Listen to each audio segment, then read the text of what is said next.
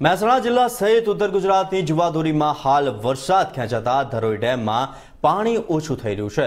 વાસ્તવમાં બાષ્પીભવન થવાના પગલે લાખો ગેલન પાણી ઉડી જાય છે. હાલ ધરોઈ ડેમમાંથી રોજનું અઢાર પોઈન્ટ ચાલીસ કરોડ લીટર પાણીનું બાષ્પીભવન થઈ રહ્યું છે. ઉત્તર ગુજરાતની અંદાજે ચૌદ પોઈન્ટ પચાસ લાખ પ્રજાને રોજનું આ ડેમમાંથી પચીસ કરોડ લીટર પાણી પીવા માટે મળી રહી છે.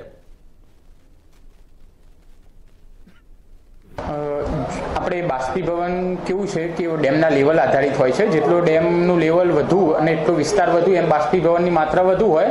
પણ આશરે છ પોઈન્ટ પાંચ એમસીએફટી આપણે બાષ્પીભવન અન્ય રાઇટ એન્ડ રાઇટ્સ માટે આપણે જે છોડીએ છીએ અને બીજું પાછળ ડૂબ વિસ્તારથી પાણી લેવામાં આવશે એમ ટોટલ ગણીએ તો છ પોઈન્ટ પાંચ એમસીએફટી જે પ્રમાણે લીટરમાં ગણીએ તો અઢાર કરોડ લીટર પાણી આની અંદર આપણે વપરાશ થતો હોય છે. બાષ્પીભવન રાઇટ એન્ડ રાઇટ્સ અને બીજા લોસીસની અંદર. સામે પીવાનું ડેલી વપરાશ આપણે જોઈએ છીએ એવરેજ તો આશરે આઠ પોઈન્ટ પાંચ એમસીએફટી જે પ્રમાણે પચીસ કરોડ લીટર પાણી દૈનિક વપરાશ થાય છે. અટકાવી શકવાના જે આપણે ગણીએ કે એનું અટકાવી શકવાના અત્યાર સુધી કોઈ ઉપાય લીધા નથી.